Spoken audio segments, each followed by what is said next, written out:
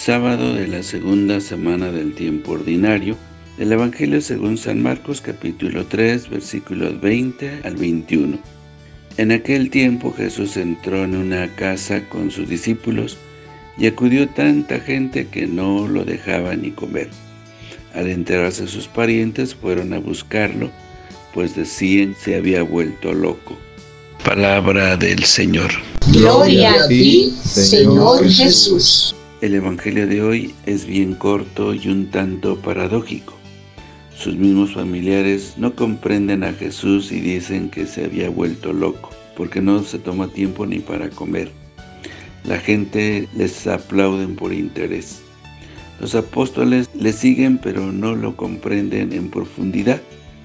Los enemigos le acechan continuamente y lo interpretan todo mal. Ahora su clan familiar, primos, allegados, vecinos, tampoco lo entienden. Además, le deben haber asustado las afirmaciones tan sorprendentes que hace, perdonando pecados y actuando contra instituciones tan sagradas como el sábado. Se cumple lo que dice Juan en el prólogo de su Evangelio. Vino a los suyos y los suyos no lo recibieron.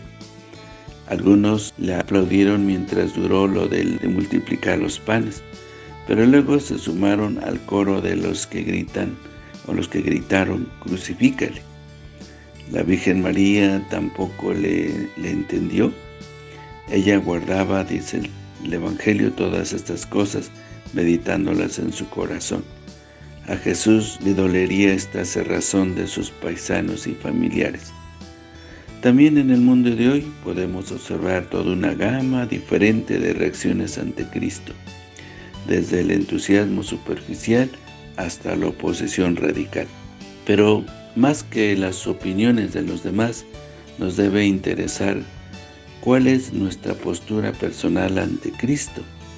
¿Le seguimos de verdad o solo este video ha llegado a ustedes gracias a Campusano Móvil, donde ofrecemos los servicios de desbloqueo, activación y reparación. Te activamos y reparamos el software de tu celular, tablet o computadora. Además, vendemos todo tipo de accesorios y recarga de todas las compañías. Vendemos tablets, celulares y computadoras. Estamos ubicados en la calle Sánchez número 10 en el ensanche Altagracia de Herrera. Teléfono 809-530-7327. Con su administrador, Yatmaicor Campusano.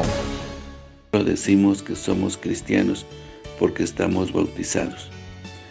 Seguirle es aceptar lo que Él dice, no solo lo que va de acuerdo con nuestra línea, sino también lo que va en contra de las apetencias de este mundo o de nuestros gustos. Si el Maestro y Profeta que Dios nos ha enviado, tenemos que tomarlo en serio a Él como persona, y lo que nos enseña. También nosotros podemos ser objeto de malas interpretaciones que llevan en medio de este mundo una vida cristiana que muchas veces puede despertar persecución o bien sonrisas irónicas.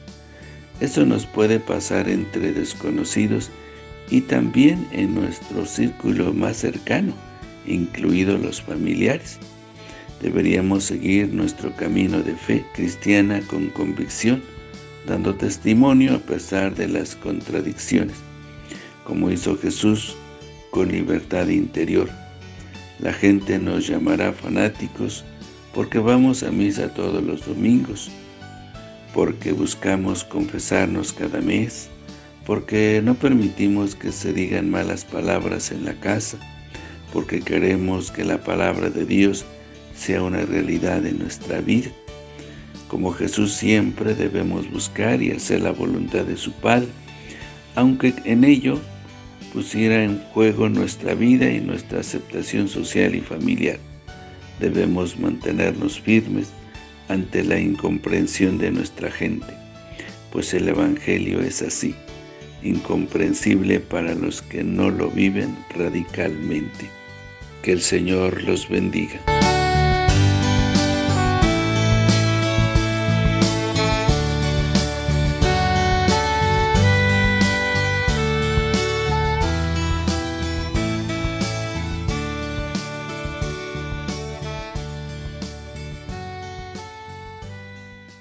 La bendición de Dios Todopoderoso, Padre, Hijo y Espíritu Santo, descienda sobre ustedes, que los acompañe siempre.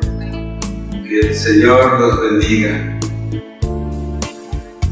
Si te gustó este video y deseas seguir recibiendo el Evangelio, misa en vivo, oraciones y muchas reflexiones más, ayúdanos a seguir creciendo. Suscríbete a este canal de YouTube. Activa la campana de notificaciones. Deja tu comentario. Dale me gusta. Y compártelo con todos tus seres queridos. Que el Señor te bendiga a ti y a toda tu familia. Bendiciones.